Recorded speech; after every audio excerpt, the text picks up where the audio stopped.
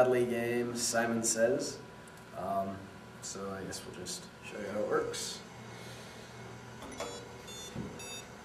That was a self-test.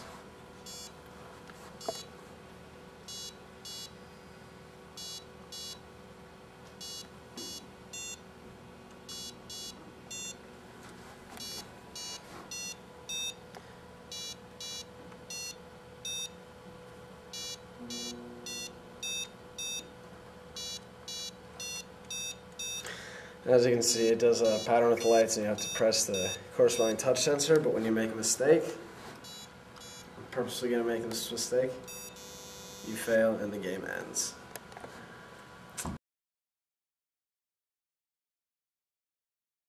I'm Jordan Fletcher, and this is my robot and my partner, Johnny Five. Um, it's modeled after the movie. Um, it came out when I was little. I don't remember the exact time, but um, it's a movie about a robot uh, that had a glitch with a personality. But basically, it's built on a, a triangle-shaped frame.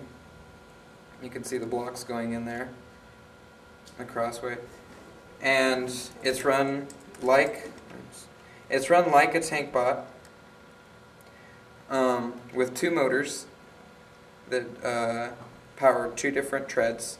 The treads are also put on a triangle frame with um, an extra axle.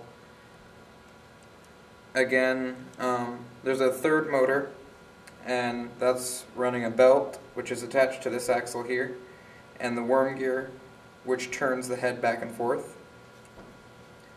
Um, that's the basic inner workings of this robot. Um, its vision is produced by a light sensor. You can kind of see it. It's in there between the eyes. And um, these arms don't really do a whole lot. They're mostly for decoration. But that is basically my robot in a nutshell. Um, yeah. So let's see. Um, yeah, go ahead. Remember which one it turns.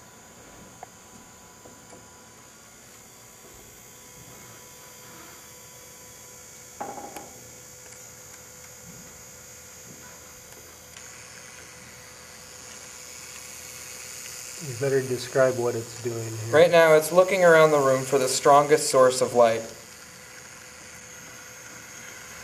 Oh, which maybe is the camera, because this Yeah. camera has a lo- little light on it. Yeah, it probably saw that, and it does it repeatedly.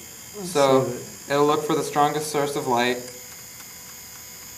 It'll do a second scan with the body. Oh. It'll move back to the strongest source of light and then follow it again. Oh, yeah, it's coming for the camera. Yeah. Huh, what's up? robotic piano player. Um, we wanted to name him something cool, so his name is like Beethoven. So he's going to play the piano for us. And basically, what is going to happen is we're going to turn it on. Actually, it's already on, and it's connected. Uh, it has three motors that are connected to each set of keys, and every time the motor is turned on, one key will go down and one key will go up, or fingers, and um, they're going to hit the keys. So we're gonna turn it around and it plays on six different keys of the piano. Uh, it can only play one key per set, and uh, I guess we're gonna start. Oh, we also have to hold it down, otherwise it shoots back. Shoots back by the power of its.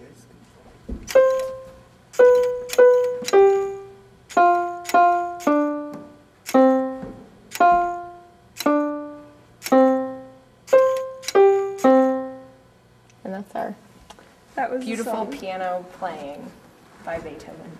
All right. Okay, so here are the six fingers that are just made of these beams, and um, back here, this is where the motor is. There's one ax- there's one um, gear right here, which is connected to these crown gears, which kind of they are pointed inwards rather than outside.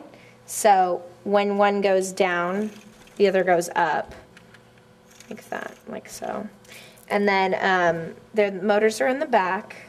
And then here's the head. It's more of just a, a decorative thing to make him look more lifelike. Um, yeah, the motors are in the back, and they're wired in a specific way due to polarity.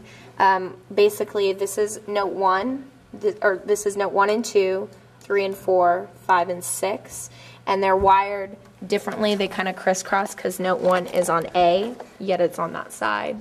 So, yeah. And then here's our RCX. Um, we kind of just built, well, I kind of built a place for the RCX to lie and just sit there. It's kind of heavy, so you have to support it when you're holding it up, but it kind of just fits right in there. Like, you can just pop it out. It's kind of cool. All right, cool. Hi, I'm David. I'm Nick. And we built a truck bot.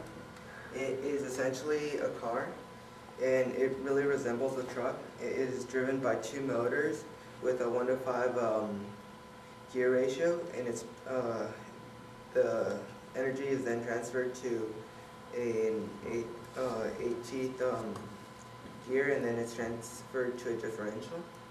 And it can steer using a rack and pinion gear system. The motor goes on, so then when the motor like turns, makes this turn. Mm-hmm. So yeah.